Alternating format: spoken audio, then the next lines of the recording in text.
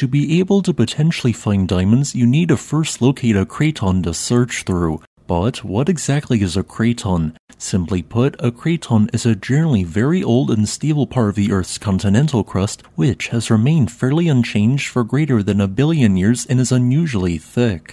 This means that during the last 1 billion years, apart from rare hotspot and kimberlite related volcanism, a craton has not experienced any volcanism. We aren't exactly sure why cratons formed, but it appears to have been related to the emplacement of large masses of lower than average density crust, often including granite and rhyolite. This caused the crust to be pushed upwards as a plateau of sorts. Compressional forces over time then affect such a region, causing it to compress and become thicker. For example, almost the entirety of Ontario, Quebec, and Nunavut are part of a vast craton known as the Canadian Shield.